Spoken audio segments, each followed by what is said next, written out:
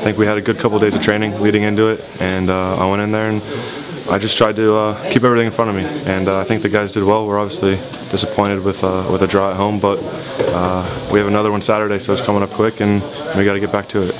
Obviously, anytime you're at home and you're playing a conference team, um, you, you want three, uh, and that's that's our mindset with every game that we play, either home or on the road. So for us, we're, we're going to go out of it with with a little disappointment, but at the same time, we got to keep our heads up and, and move on to Saturday.